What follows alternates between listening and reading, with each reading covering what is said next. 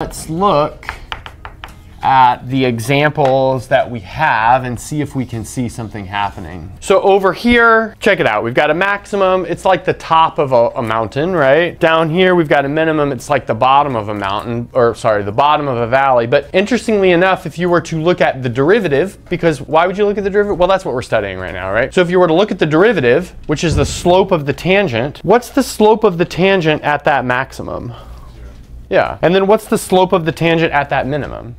Yeah. And then same thing over here, right? Slope of the tangent at that maximum is zero, right? What's the slope of the tangent at that minimum is zero. Oh, but then look, look at this example. What's the slope of the tangent, in other words, the derivative at this minimum?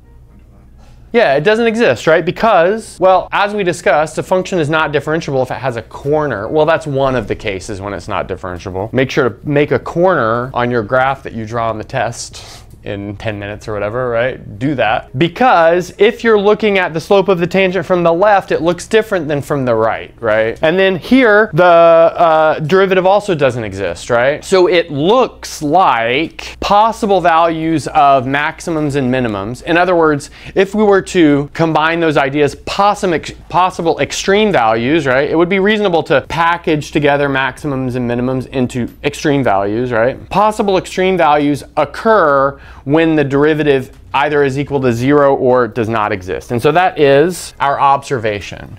So it seems like uh, extreme values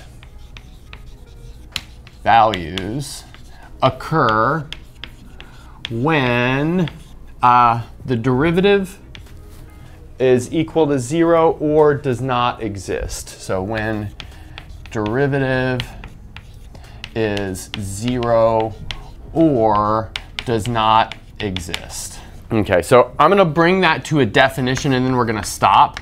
But this definition will be enough to like do some homework type problems. It's just we won't have a chance to do examples. It's just like setting up an equation. So uh, we say C is a critical point of a function f if f prime of c equals 0 or f prime of c does not exist. So these are like your potential places where you get extreme values.